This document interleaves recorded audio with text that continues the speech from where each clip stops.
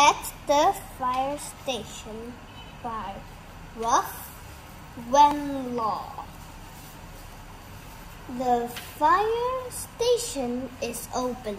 Look at all the people, said Mom. Let's go inside, said. Let's go inside, Dad says.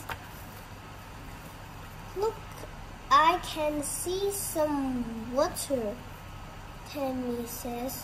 I want to try, please, Timmy says. Hold on to the hose. The firefighter says, one, two, three, whoosh! Look, look, I can see some fire trucks, Timmy says. I want to climb up, please, Tammy says. Hold on to my hand, the firefighter says. One, two, three. Bee boo, doo, bee boo, bee boo. Ring! I mean, ring! Can you hear the bell? Can you smell the smoke? Can you see the firefighter sliding down the pole? Pole. Down the pole. Can you see him putting out the fire? the fire has been put out. Clap, clap, clap. What a great show! What is this? It is not a big fire truck. It is small. This is a red rhino. This firefighter says, Would you like to sit into it? Yes, please, Timmy and Penny say.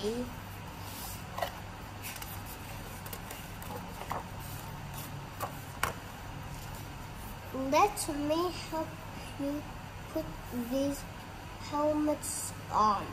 The firefighter says, Thank you, Timmy and Penny say. Let's go for a drive. Let's go for a drive. Hold on tight. Ring! Now we are firefighters. We can hear the bell. We can smell the smoke. We can help put out the fire. Whoosh! The fire has been put out. Everybody claps. I am so proud of you both. Mom and Dad say you are my little firefighters. Good job.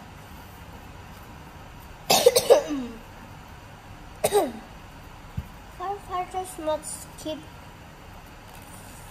fit. Firefighters are brave.